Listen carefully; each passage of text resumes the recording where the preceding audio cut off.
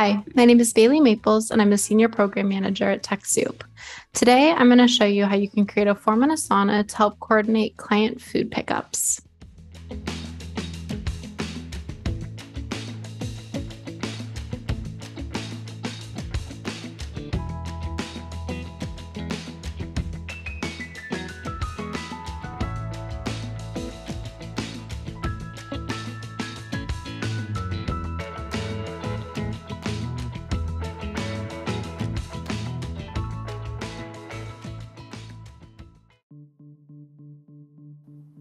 The great thing about using Asana Forms is that it generates a URL that you can embed on your website, Facebook page, include in a digital newsletter, and more.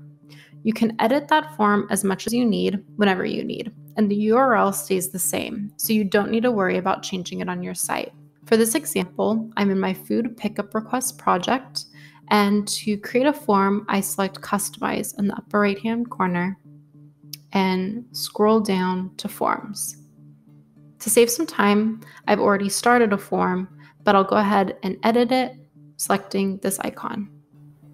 For this form, I've already set up some basic required fields such as name, but you can customize this as much as you want. So for example, I created a section for dietary restrictions and I made it required so that folks have to fill it out. I created a separate section to capture food preferences and it's not required. Because although it's important to know food preferences, it may not be as important as knowing dietary restrictions. I've also created a section for preferred confirmation method, as well as a place to capture phone and email address. I've also selected a number field that captures how many folks need food so that we can ensure that we have the proper amount of food for that client at pickup. One missing piece is getting a date preference uh, as to when a client would like to pick up this order. So I'm going to drag a date field over and I'm going to say, please provide your preferred day for pickup. I'm going to make this a required field and I'm going to connect this field to a due date so that this can help us whenever we need to schedule the pickup. And I'm going to go ahead and select done. Now that I have the form complete, those new submissions will go under the section New Submission. I'm going to change my project view to make it easier to see what submissions we have in this section. So now I can see each tile is a new submission and new requests will just go in this section. Next, I'm going to set up a rule by going to Customize and selecting Rule.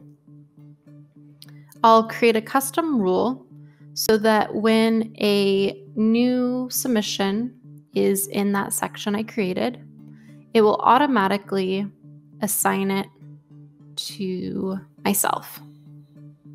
And I'll select Create Rule. Now, whenever a new submission comes in, it will be automatically assigned to myself and I'll get an alert in my inbox. Now that we've created a form and we've set up a rule, let's see what a new submission would look like. So this is what the client would see, and let's just quickly fill out this information. We'll have the date be next Monday. And we'll select that and then submit. From our side, we can see there's a new submission. It was automatically assigned to me, and the pickup date is for August 15th, which will help us when scheduling.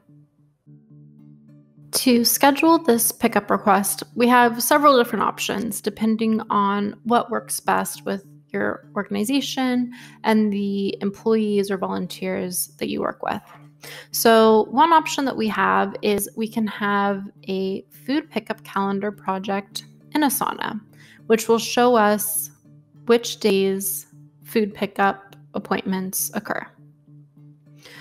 So for that, I'm going to go into the task that was submitted and I'm going to add this task to another project and we're going to say, let's add it to the pickup calendar. Now this task will also show up on our calendar right here. And we can have all of the same information be captured from the original submission. Because this is a different project, we can edit this information and it won't do anything to that original submission. So if we wanted to have this calendar project have guests that are volunteers, we can do so. And we can delete any information that we may want to keep private. We can also reassign this task to someone else if they're going to be in charge. And it again won't edit that original submission. If there are calendars that you want to sync with outside of Asana, we can do that too. So first, we'll want to make sure that we're in our calendar project and we'll want to select this down arrow and then go to export and sync to calendar. For this example, we want to sync with a Google Calendar. So we'll select this link and copy it. When we sync to the calendar, we'll want to keep in mind these things. The tasks will need to have a due date and they'll need to be incomplete. And the sync will take the information from the Asana project and sync it to the calendar. But if you make any edits to your Google Calendar, it won't sync back to Asana. So, with that in mind, let's go add this to our Google Calendar. So, here we're in my Google Calendar. And to add the calendar from Asana, we're going to go down here to Other Calendars and hit plus, and then we'll select from URL. We will paste that URL from Asana and we will add it. Now it's loading. If we select the calendar down here, it will show us all the settings and we'll go back. We can see this calendar right here from Asana and we can go ahead and update that name to say food pickup and then we'll go back. And if we go to next Monday, we'll see that there is that request from Asana. And it has all the information that we had in the calendar project. So we removed certain fields of information, and now we can just see what we wanted to see. And just like that, we created an intake form for scheduling food pickups. We created a calendar project in Asana, and we created a calendar sync with our Google Calendar.